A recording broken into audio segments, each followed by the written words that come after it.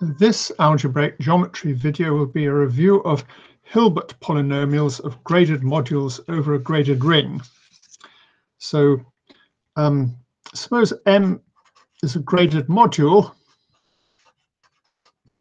over a graded ring, where this ring will be um, generated over a field K by various elements x1 up to x um, k, where the degree of xi is going to be some number di greater than zero.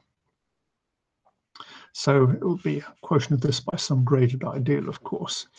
Um, so for applications, um, we might take R to be the same as M, and R might be the graded ring associated with some projective variety. So if you've got a projective variety generated by some, sorry, corresponding to some graded ideal, then this gives us a graded ring. And we can ask, what is the growth rate of these components mn? And the growth rate of the mn might tell us something about the variety. If, if these numbers grow big, it suggests the variety is big in some sense.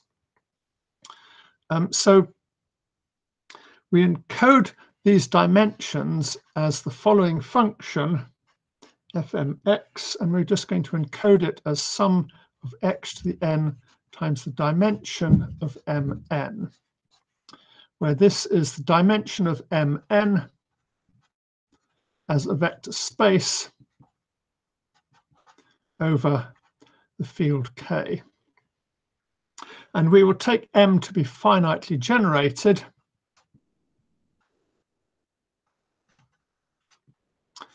Um, and we want to know what does this function look like.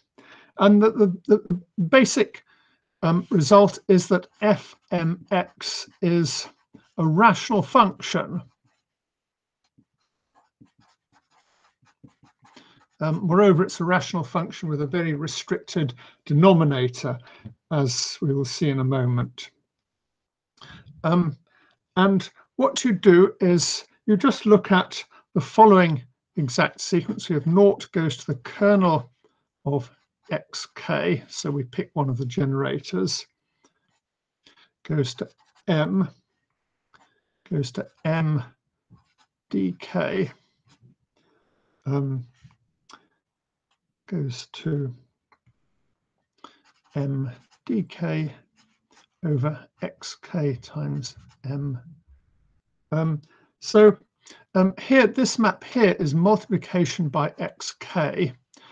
Um, um, and we have this exact sequence, and you can now look at the graded pieces of each of them.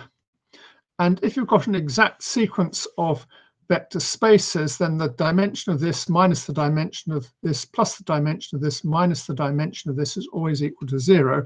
So we get a relation between the functions of these four modules. Moreover, this module here is a module over um, R quotient out by xk. And this thing here is also a module over the, the ring R quotient out by xk. Um, so um, um, f of m dk is equal to x to the dk times fm. Um, I forgot to say m of dk means m with the graded shifted by dk. So this just means shift the grading. So um, we see um, 1 um, minus um, x to the minus dk times fm is something involving this um, module and this module. And th these are modules over rings with smaller numbers of generators. So by induction, these are rational functions. Um, so uh, this shows that f of m is a rational function. Um, so um, what we find is that um, f, uh, I guess I was accidentally writing f of m where I should have written a subscript. Um, so f of m is a rational function with denominator um, dividing 1 minus x to the d1, 1 minus x to the d2, and so on, 1 minus x to the dk, again by induction on k. Well, um, the most important special case is when all the di are equal to 1, although it's sometimes useful to have this more general version. So, for instance, this would just happen if you took the polynomial ring on generators x1 to xn and gave everything the obvious grading. In this case, the denominator is 1 minus x to the power of k. Um, and if we expand 1 over 1 minus x to the k, um, we see that it's, um, sorry, the k should be there. Um, we see that the coefficients of um, the powers of x for i greater than or equal to naught are given by polynomial in i. For instance, 1 over 1 minus x to the 1 is 1 plus x plus x squared and so on. 1 over 1 minus x squared is 1 plus 2x plus 3x squared and so on. And in, in, general, the coefficients here are actually given by certain binomial coefficients, which are going to be polynomials. So they're degree naught for 1 minus x to the 1, degree 1 for 1 minus x squared, and so on. Um, no, notice that they're only a polynomial in i for i greater or equal to 0. For i less than 0, of course, they're, well, they're still given by a polynomial, but they're given by different polynomials. So there's a sort of um, discontinuity in the behavior of these coefficients at x to the power of 0. So what this means is that dimension of mn, the um, de degree n piece of the module M is a polynomial in n for n large and greater than zero, of course. Um, if n is sufficiently small, then you run into the problem that these things here are not polynomials um, for x negative, sorry, for, for negative powers of x. Um, so this is called the Hilbert polynomial of,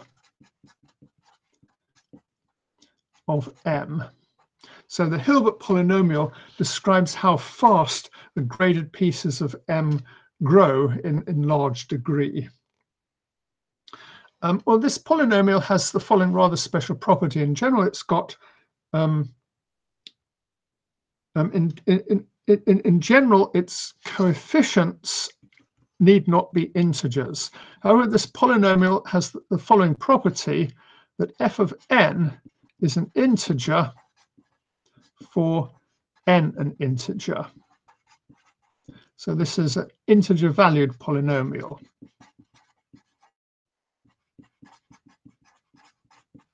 That's because for any number n, f of n is always going to be the dimension of some graded piece of n. Well, actually that's true for n sufficiently large, but if, if, if a polynomial is integer for large integer values, then it's integer for all values. So um, what do integer valued polynomials look like? Well, pretty obviously, if a naught, if all the numbers a i are zero, then a naught plus a1 x plus plus a k x to the k is always an integer if x is an integer and all the ai's are integers. And you can ask the converse, if you've got an integer valued polynomial, are all its coefficients integers? Well, obviously not, because x times x minus 1 over 2 is always an integer for x, an integer, but its coefficients are x squared over 2 minus x over 2. So an integer valued polynomial need not have integer coefficients. So what we want to do now is to classify the integer valued polynomials.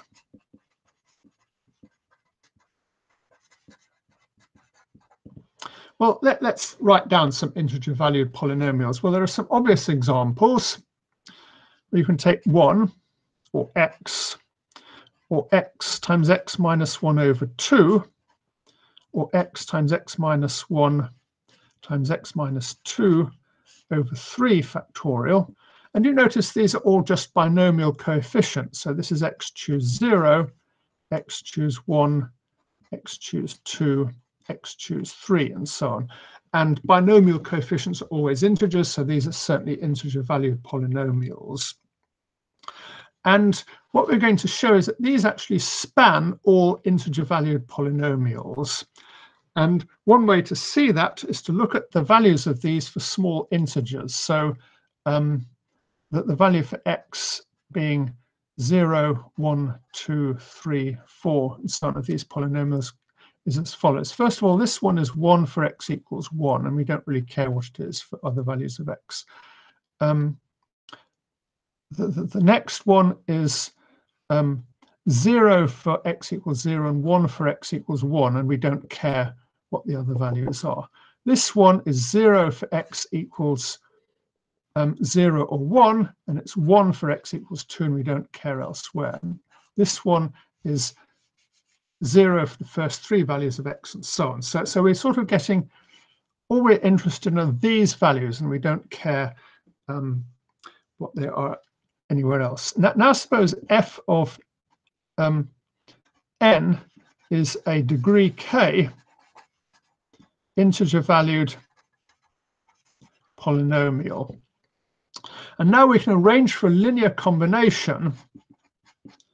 Um, so we can find a linear combination um, of these binomial polynomials which is 0 for x equals 0, 1 up to k. And that's because um, we can first um, choose a0 to make it vanish at x equals 1. And then we can choose a1 to make it vanish. Sorry, we choose a0 to make it vanish at x equals 0. Then we choose a1 to make it vanish at x equals 1. And since these numbers are zero here, that won't affect um, the value at x equals zero. And similarly, we choose a2 to make it vanish at x equals two and so on. So we can get up to this. And now this is a polynomial of degree k vanishing at k plus one points, naught up to k. So it is zero for all k, for all, for all n. As a polynomial of degree k can't have k plus one zeros. Um, so this shows that any integer valued polynomial, such as a Hilbert polynomial, must be a linear combination of these polynomials. A particularly important special case is that the leading coefficient of f is of the form um, um, um, ak um, x to the k over k factorial, where ak is an integer. So although the, the coefficient of x to the k um, may not be an integer, the coefficient of x to the k when multiplied by k factorial is always an integer. And this integer will turn out to give us the degree of various algebraic varieties. Um, there's a useful variation of the Hilbert polynomial. Instead of looking at the dimension of um, mn, all we actually used about the dimension was that it was additive in short exact sequences. And we can use any other measure of the size of mn, provided it's additive on short exact sequence, and get a sort of Hilbert polynomial out of that. Um, so next lecture will describe some applications